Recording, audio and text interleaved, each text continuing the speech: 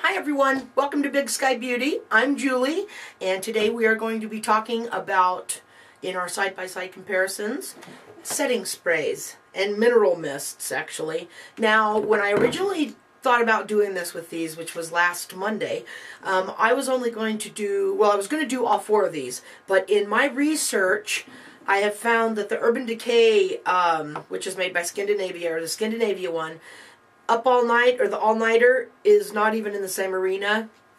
It's just not even in the same arena. This is what you want to wear when you go to a rave or something, okay? So I'm just going to kick this right out of the whole mix. So, what I have here are MAC Fix Plus, okay? Elf's uh, uh, Revitalizing Face Mist, and this is a new product, and then Elf's Makeup Mist and Set. And I think we all know and love this. Now, I am going to read right from the ELF website. I got my computer down here, okay? Now, for their Mineral Revitalizing Mist, this is what the website says. Replenish and boost your skin with the Revitalizing Mineral, mineral Mist.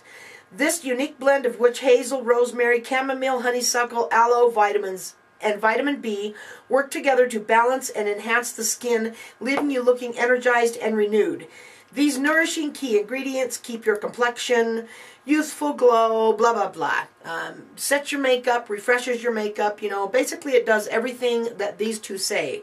Now, you are getting one fluid ounce in this bottle, and it costs $6, okay?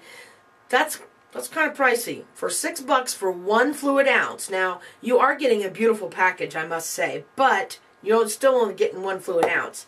Now, with Elf's Mist and Set, let me bounce over here.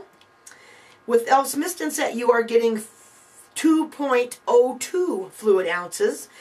And what this says is wish you could have a product for your makeup or wish you could have a product for your makeup like hairspray is for your hair. Hair. Well, keep your makeup staying in place all day with the radiance boosting invisible hold with our new makeup mist and set. The high, the invigorating mist moisturizes and soothes the skin with key ingredients aloe, green tea, cucumber, and vitamins A, C, and E. The lightweight, comfortable, and alcohol-free formula improves makeup wearability and prevents color from running or fading. Now, I got to tell you, I for the last week I have been putting my face on and using a book to divide, you know, my face, and I've been spraying this on one half and this on the other. And and then I'll grab my 10 times magnified mirror here and I see no difference. None. It wears the exact same throughout the day. I don't see where the mist and set keeps my makeup on any better than the revitalizing mist. They both do the exact same thing. Now I have poured these out into little containers, little petri dishes I have, and yes, I have actually tasted both of them. They taste the same, and I don't mean I didn't drink it or anything, but, you know, I dip my finger in it and taste it, and they both taste identical. I literally do not see any difference in these two products. I don't know... I know that the website says that the mineral mist has a few more ingredients, and that might be true, but this one has just as many ingredients. They're just different ingredients. Whereas this one has witch hazel and uh, honeysuckle. This one's have vitamin A, C, and E. When this one doesn't. This one only says it has vitamins D in it. So, you know, it, they're saying they're different things, but they're doing the exact same thing to my makeup. Um, the same refreshing feeling, the same set, everything. So what I've been doing is dumping my bottles of this because I've got a ton of these. You know, every time I see them at TJ Maxx for, you know, 237 instead of 3 bucks, I grab it. This is 3, this is 6. So I'll grab a bunch of these and I've been pouring them into this and mixing them with this solution because I feel like I'm getting the best of both worlds and they're doing the exact same things. Now on to MAC Fix Plus. Now, this bottle, of course, we all know is 21 bucks. There's three and a half ounces in here. So, this only's got an ounce in it. So, if you put three and a half ounces of this, you're you're about talking the same, you know, maybe a buck cheaper, a buck fifty cheaper. So basically, this Elf item is the same cost as the Mac Fix Plus. Now, I've done a lot of research on the Mac as well, and from what I can tell, where, whereas MAC has a beautiful scent, Okay, we all know and love that that wonderful, refreshing Mac smell.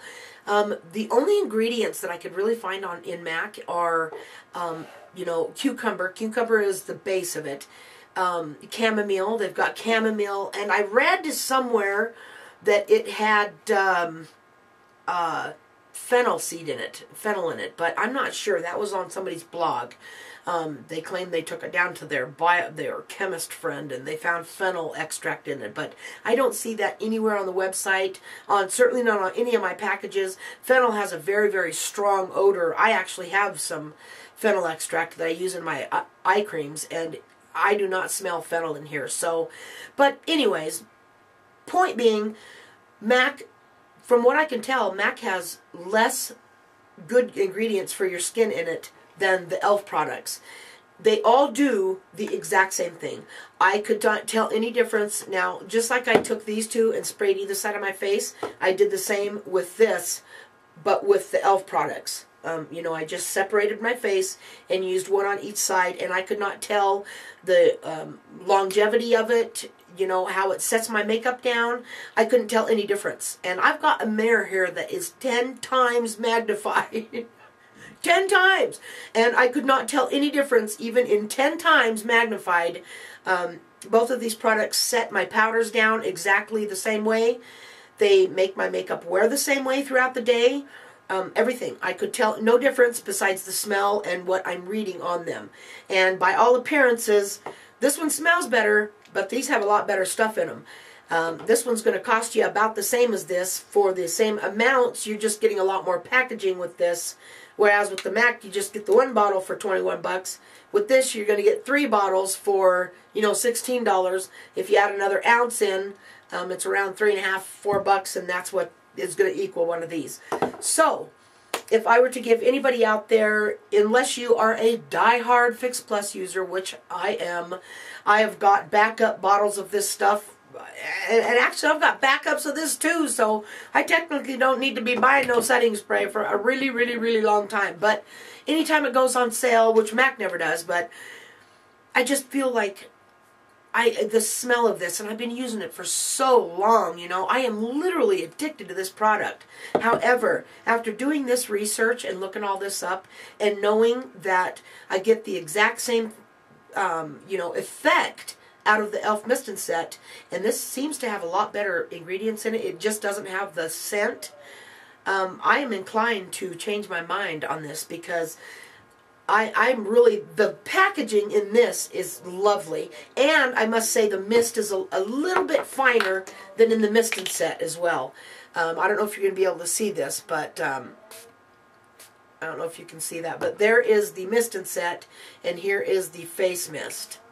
Okay, it's much it's much finer and it it spreads out more. There's more of an area, whereas the mist and set is a little um, kind of like micro droplets, you know, and this is an an actual mist. Oh, I hear my grandson up.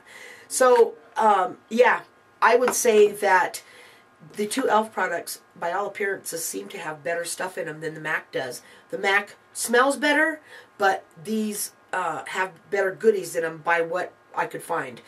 Um, they all three do the exact same thing.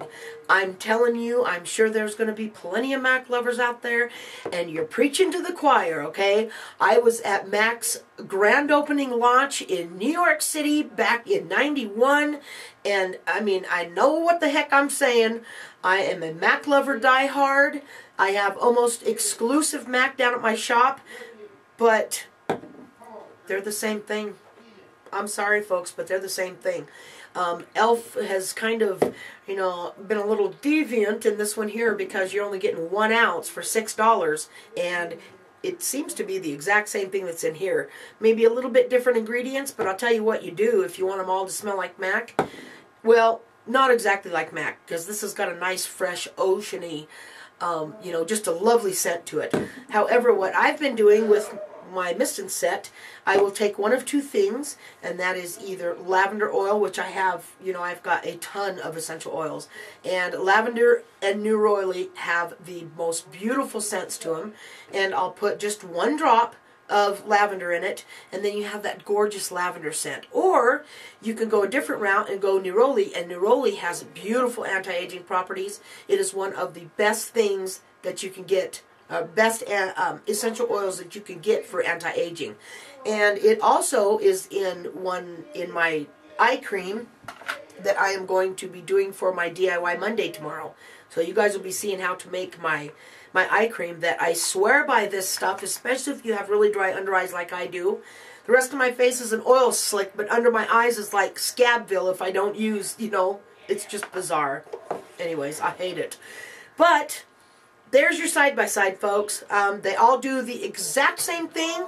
$21 from MAC, $6 from e.l.f. for one ounce, or um, you know, $3 from e.l.f. for 2.02 ounces. Max is 21 for 3.4. So really what it comes down to is um, this is your best buy, obviously. Absolutely, hands down, the best buy. Drop you a drop of lavender or neroli oil in it. And hell, if you have to, if you just have to break out the Fix Plus on video and say, here's my Fix Plus, I'm going to spray my bottle in my face then go down and get you a whole bunch of the Elf and pour it in your Fix Plus because you're not getting any different product. Period. Now, there might be some MAC people out there that might disagree with me on this. Um, I did go through a MAC sem um, training back in my early years, but I ended up taking a different route when I was working on the set of uh, Stephen King's The Stand down in Utah.